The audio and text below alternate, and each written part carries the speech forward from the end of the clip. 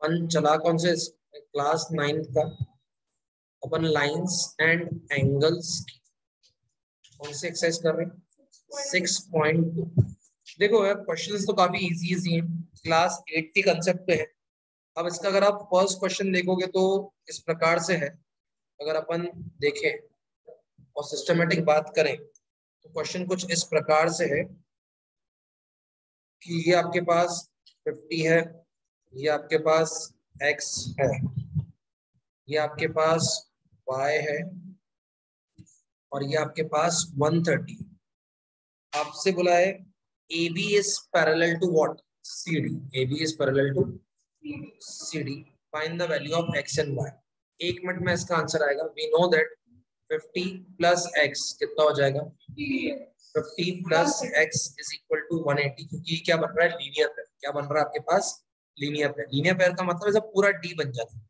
जब ये पूरा ऐसा d बन जाता है तो क्या होता है लीनियर पेयर ठीक है ना? तो x इज़ इक्वल टू कितना आ जाएगा आपके पास? वन थर्ड कितना आ जाएगा? वन थर्ड सर क्या x और y आपस में इक्वल होंगे? हाँ क्योंकि ये कौन सा एंगल हो गया ऑल्टरनेट इंटीरियर एंगल्स तो sir x is equal to कितना? Y इज़ इक्वल टू 130 क्योंकि ये कौन सा एंगल हो गया आपके पास? ऑल्टरनेट इंटीरियर एंगल्स सर आप अगर थोड़ा सा हमारी खुशी के लिए सारे एंगल्स को क्लियरफाई क्लैरिफाई भी कर दो, जो अपन ने क्लास एट में पढ़ चुके हैं। तो अगर आपको उसकी भी क्लैरिटी चाहिए तो कभी भी अगर आपके पास दो लाइंस आपस में क्या रहती है? पैरेलल अगर मैं बात करूँ कि आपके पास अगर दो लाइंस आपस में पैरेलल होती है तो ध्यान रखिएगा, मैं आपको नाम बता रहा हूँ एंगल वन और एंगल टू या इसको वन बोले, इसको टू बोले, इसको थ्री बोले, इसको क्या बोले? फोर देन ये five then six then seven then eight ध्यान रखिएगा, एक एंगल वन फिर टू को छोड़ के फाइव तो angle one is equal to हमेशा क्या होता है? Angle five angle two is equal to five को छोड़ क्या रहेगा? एट तो angle two is equal to कौन सा? एंगल एट यहाँ पे थ्री अपने बाद वाले को छोड़ के three angle three is equal to कितना हो जाएगा? एंगल सिक्स और angle four is equal to कितना हो जाएगा? एंगल सेवन ये सारे ही एंगल करस्पॉन्डिंग एंगल्स होते हैं। सारे एंगल क्या होते हैं? Corresponding angles sir corresponding angles का मतलब होता है एक छोड़ के एक। एक छोड़ के एक। मतलब ये एंगल के बाद ये छोड़ा, फिर ये बच गया। इसके बाद ये छोड़ा और ये बच गया। ये कौन से एंगल होते हैं? करस्पॉन्डिंग एंगल्स ये हमेशा आपस में क्या होते हैं? इक्वल ये अंदर का एंगल है फोर ये आँख किसको मार रहा है? फाइव ये आँख किसको मार रहा है? फाइव तो angle four would always be equal to what angle five और एंगल यहाँ का two would always be equal to angle six तो angle four is equal to five angle two is equal to what angle six ये कौन से angle होते हैं? Alternate interior angles कौन से एंगल्स होते हैं? ऑल्टरनेट इंटीरियर एंगल्स ठीक है क्या? अगर आपके पास ये समझ में आ गया और अच्छे से क्लियर हो क्लियर हो गया ये चीज़? पक्का? अब अपन सिस्टमेटिक तरीके से अगले क्वेश्चन पे चलते हैं। अपने पास अगला क्वेश्चन है ही क्या इसका? अगर अपन चल के देखें तो उन्होंने बोला है आपके पास कि ये आपके पास एक्स हो गई। लाइन लेके है आपको। तीन लाइनें देके रखी है पैरेलल लाइंस और ऐसी ट्रांसवर्सल ठीक है ना? आपको बोल के रखा है कि this is X this is what Y then this is what Z आपको बोल के रखा है, x is to Y is three is to seven three is to seven इसका मतलब आपके पास x इज़ इक्वल टू क्या हो जाएगा? थ्री और y इज़ इक्वल टू कितना हो जाएगा? सेवन ध्यान रखिएगा हमेशा जो एंगल सेम साइड पे होते हैं इनका सम हमेशा क्या होता है? 180 क्या होता है? क्योंकि ये होते हैं को इंटीरियर एंगल्स कौन से एंगल्स होते हैं? को इंटीरियर एंगल्स अगर ये सेम साइड पे होते तो ये x और ये कितना? y. x और y मिला के कितना होता है? 180 तो यहाँ पे आपके पास हो जाएगा x plus Y is equal to कितना? 180 इसका मतलब 3a plus 7a is equal to कितना? 180 इसका अर्थात क्या हो गया? Ten A is equal to कितना? वन एटी तो आपके पास ए इज़ इक्वल टू कितना आ गया? एटीन डिग्री एक एंगल क्या है? थ्री ए और एक एंगल क्या है? सेवन है तो three A plus seven A मतलब क्या होगा? Ten A ten A is equal to कितना? One eighty A is equal to कितना होगा? एटीन अब x का मतलब क्या हो जाएगा? थ्री इंटू एटीन और y का मतलब क्या हो जाएगा सेवन इंटू एटीन तो अगर मैं बात करूँ फिफ्टी फोर डिग्री और ये कितना हो जाएगा? तुम्हारे पास one twenty six sir x is equal to fifty four degree y is equal to कितना? वन ट्वेंटी सिक्स अच्छा सर अगर अपन बात करें कि अगर ये कौन सी हो गई? फिफ्टी फोर ये कितना हो गया? वन ट्वेंटी सिक्स तो मुझे एक छोटी सी बात बताओ जो एंगल x होगा। क्या वही एंगल पी भी होगा। क्या एक्स और पी इक्वल होंगे क्या? क्यों? एक छोड़ के ए बिल्कुल सही। तो x is equal to P X तो तुम्हारे पास x इज़ इक्वल टू कितना हो जाएगा? तुम्हारे पास p x is equal to कितना हो जाएगा? P कौन सा एंगल हो जाएगा? वन सॉरी फिफ्टी फोर हाँ कि ना? कौन सा एंगल करस्पॉन्डिंग एंगल्स कौन सा एंगल हो गया? करस्पॉन्डिंग एक्स के बाद वाई को छोड़ा फिर क्या? पी तो इसका मतलब पी भी कितना हो गया?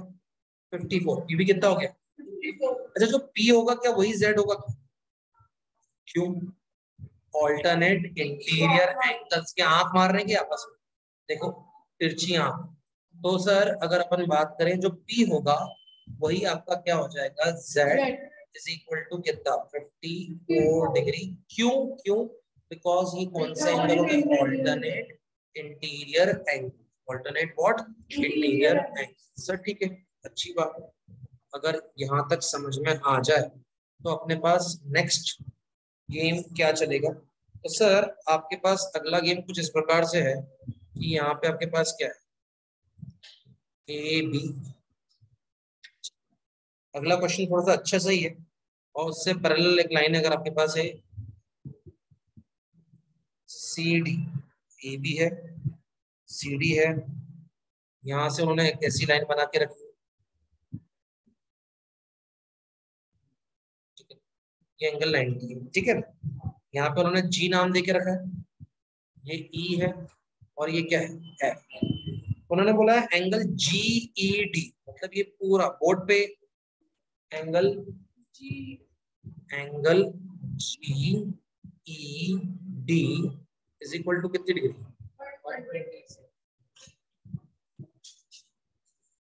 Angle G D is equal to कितना? है ठीक है तो शायद ऐसा बोल सकता हूँ कि नाइनटी प्लस ये एंगल कितना है? X.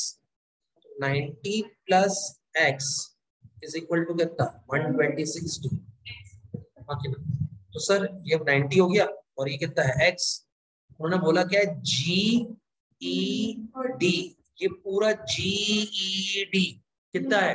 126 तो सर, ऐसे केस में x इज़ इक्वल टू कितना हो जाएगा? 126 माइनस 90 या बोलूँ तो x इज़ इक्वल टू कितना? 36 क्या सर, x 36 हो गया? हाँ सर। हाँ कि ना अच्छा मुझे एक बात बताओ, उन्होंने एंगल तो बहुत सारे पूछे। अपन धीरे धीरे सब एंगल निकालने की कोशिश सबसे पहले अगर मैं किसी पूछूँ ए जी एंगल कितना होगा? सर देखो ये पूरा और ये पूरा क्या आँख मार रहे हैं क्या अपन बोल सकते हैं क्या एंगल ए जी ई मतलब यह line A G E is equal to कितना angle G E D is equal to कितना? वन ट्वेंटी सिक्स क्योंकि कौन सा एंगल हो गया आपके पास? ऑल्टरनेट इंटीरियर एंगल्स कौन से एंगल्स हो गए? ऑल्टरनेट इंटीरियर एंगल्स तो अगर ये 126 है तो ये भी कितना हो गया आपके पास?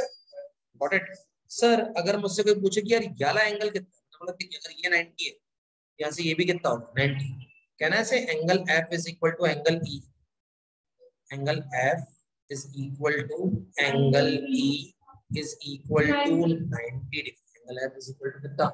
Angle E. क्यों 90 अगेन कौन से आँख मार रहे हैं ना इसको? तो तुम्हारे पास ये क्या हो जाएगा?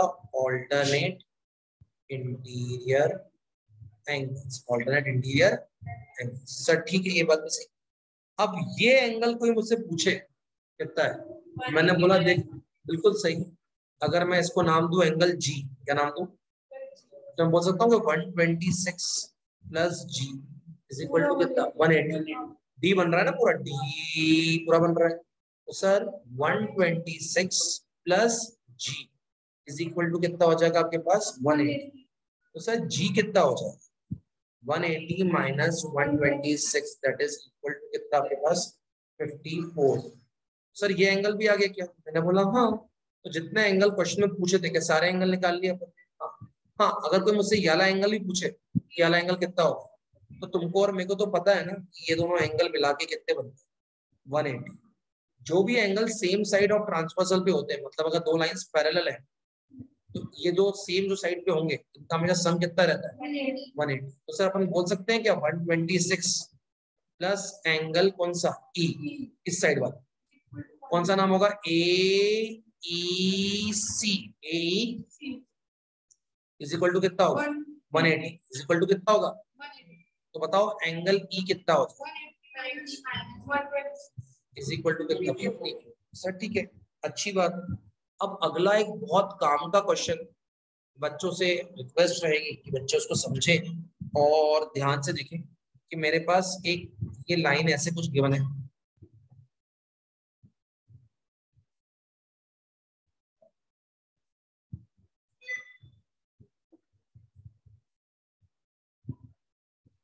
ठीक है। ये फिगर आपको गिवन है।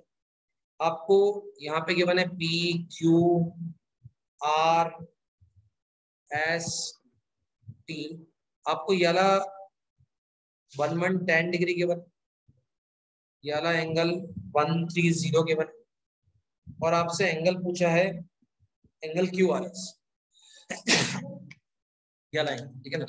मेरी तो एक छोटी सी इच्छा है, अगर आप लोग अलाउ करो तो एक कंस्ट्रक्शन करना चाहता हूँ। सर क्या? कि यहाँ से एक पैरेलल लाइन बनाना चाहता हूँ। X Y draw what parallel to कितना? एस टी और वाई पैरेलल टू कितना है? क्यू ठीक है?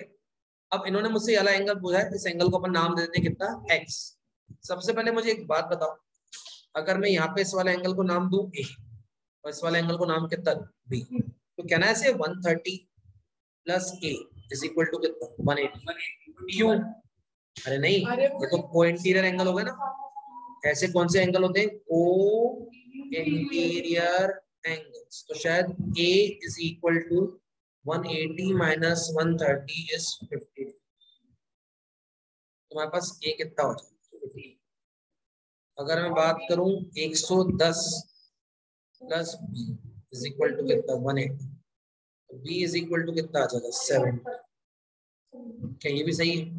क्योंकि ये कौन सा एंगल है अगेन को इंटीरियर एंगल सही है? अब ऐसा बोल सकता हूँ क्या seventy plus X plus fifty seventy plus X plus fifty is equal to one eighty अगर दो एंगल की जगह तीन एंगल तो उसको आप बोलोगे स्ट्रेट एंगल कौन सा एंगल बोलोगे? स्ट्रेट एंगल क्योंकि जो भी बन तो पूरा डी रहा है। लेकिन इस बार दो एंगल नहीं है ना? कितने एंगल हो गए? तीन एंगल तो ये पेयर नहीं ये क्या है? तीन एंगल्स इसको अपन क्या बोलेंगे? स्ट्रेट एंगल तो 120 plus x is equal to कितना? 180 तो x इज़ इक्वल टू कितना? 60 x इज़ इक्वल टू कितना? तो सर आपको जो एंगल क्यू आर एस निकालना था वो कितना हो गया? 60 डिग्री कितना हो गया? सही है क्या यहाँ तक? सर ऐसे तो क्वेश्चन अगला भी इजी ही गिवन है। और कैसा गिवन है? अगर मैं बात करूँ तो आपको गिवन है, यहाँ पे क्या? एक लाइन गिवन है आपके पास ए बी देन आपके पास एक लाइन गिवन है क्या? C D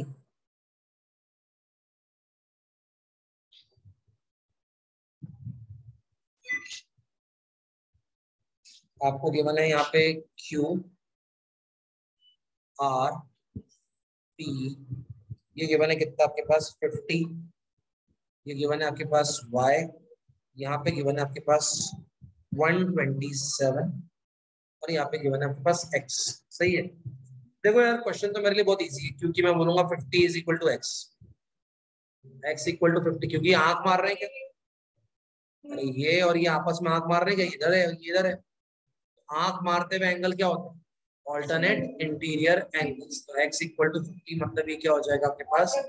Alternate interior angle alternate interior angle अच्छा ये बोल सकता हूँ क्या 127 प्लस को मान लेता हूँ a. 127 plus a is equal to 180 क्यों लीनियर पेयर वही एंगल है ना?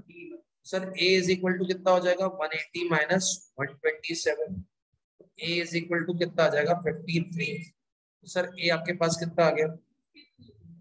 एक्स कितना हो गया? फिफ्टी अब अगर बात करूँ fifty plus fifty three plus कितना?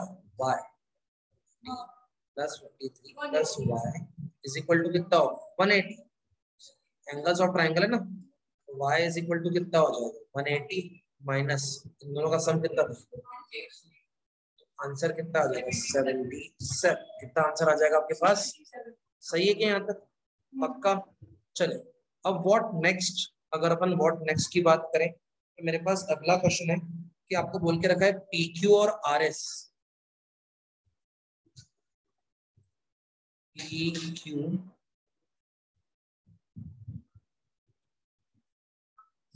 और आर एस आपके पास क्या है?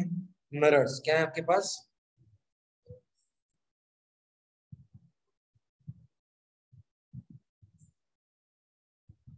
क्यों आ रहा है आपके पास क्या है? मिरर्स आपको बोला एक रह गई ए बी।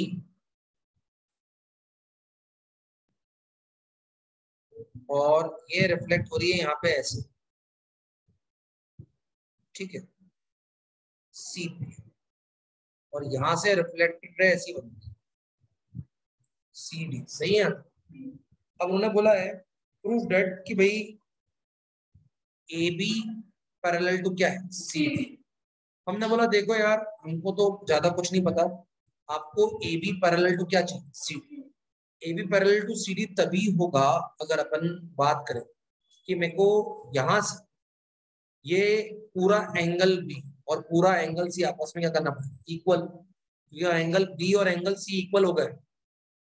तो ऑल्टरनेटिव एंगल्स इक्वल हो जाएँगे तो लाइंस क्या हो जाएँगे? पैरेलल तो इसका मतलब अगर आपको ए बी पैरेलल टू क्या करना सी डी तो आपको पूरा angle B is equal to करना पड़ेगा पूरा एंगल सी अब ऐसे में अगर मैं यहाँ से एक ऐसी लाइन खींचू नॉर्मल जो कि साइंस के ऊपर नॉर्मल खींचे थे पता है ना? मैंने क्या ड्रॉ कर ली? नॉर्मल नॉर्मल मतलब नाइन्टी डिग्री याद करो? साइंस में नॉर्मल बना था नॉर्मल तो सर इसको अपन ने नाम दे दिया बी एम और इसको नाम क्या दे दिया? सी एन सही है क्या यहाँ तक? अब ऐसा बचपन में पढ़ा है कि angle of incidence is equal to angle of reflection पढ़ा? साइंस में। पढ़ा दिया मैंने कि angle of incidence is equal to क्या होता है? एंगल ऑफ़ रिफ्लेक्शन मतलब जैसे ये जिस एंगल से गई है, उसी एंगल से रिफ्लेक्ट भी करेगी। तो अगर इंसिडेंस एक्स है तो रिफ्लेक्शन भी क्या होगा एक्स तो sir I is equal to कितना? आर इज़ इक्वल टू कितना? एक्स सही है यहाँ पर फिर वापस से अगर यहाँ पे इंसिडेंट हुई है तो यहाँ पे क्या हुई? रिफ्लेक्ट हाँ कि ना? तो इसका मतलब यहाँ पे भी अगर ये बोलू क्या लाएँगे? इसको अपन आई वन नाम दे देते हैं इसको R one angle I one कौन सा angle angle I one is equal to angle R one is equal to कितना? वाई तो ये एंगल कितना हो गया? वाई और ये भी कितना हो गया? कोई डाउट क्या है? अच्छा छोटी सी बात बताओ। क्योंकि बीएम और सीएन क्या है? नॉर्मल क्या है? नॉर्मल का एंगल कौन सा होता है नाइन्टी डिग्री तो सर इसका मतलब ये भी स्ट्रेट 90 बन रही है और ये भी स्ट्रेट क्या है? 90 इसका मतलब ये क्या हो गई? पैरेलल क्या हो गई? भाई अगर ये 90 है और ये भी कितना है? 90 तो 90 वाली 90 अगर दो एंगल्स के बीच बनता है तो क्या होता है? पैरेलल क्या होता है? पैरेलल सही है? तो आपको ये B M N C N R normal making angle of कितना? 90 एंगल ऑफ़ कितना? 90 अब सिर्फ़ फोकस करो जो मैं बोल रहा हूँ। क्या ये वाला आर और ये वाला वाई मतलब ये एक्स इक्वल है क्या? क्यों? अगर बी एम और सी एन आपस में क्या हो गई? पैरेलल बी एम और सी एम आपस में क्या हो गई? पैरेलल तो क्या बोल सकता हूँ कि इसका ये एक्स इज़ इक्वल टू क्या हो जाएगा? वाई मतलब angle of R is equal to क्या हो जाएगा? एंगल आई वन ये आई वन था ना? तो इसका मतलब तुमने क्या बोल दिया? एक्स इज़ इक्वल टू कितना? वाई तो मैं बोल सकता हूँ क्या एक्स इक्वल टू वाई का मतलब पूरा two x is equal to पूरा टू वाई सर आपने बोल दिया एक्स इक्वल टू वाई तो फिर आप बोल सकते हो टू एक्स इक्वल टू कितना? टू वाई और टू एक्स का मतलब पूरा एंगल क्या हो गया? बी ये क्या हो गया पूरा angle C angle B is equal to what angle C therefore AB is parallel to what CD कोई डाउट तो नहीं आता फिर समझ लो इस पूरे क्वेश्चन में क्या हुआ? आपने क्या बनाई? नॉर्मल्स क्या बनाई? तो यहाँ से आई इज़ इक्वल टू कितना हुआ? R. ये X है तो ये भी कितना हुआ? X I one is equal to कितना हुआ? R वन ये Y है तो वो भी क्या हो गया? वाई बोलो पे डाउट तो नहीं आता पक्का? कर सकते हो?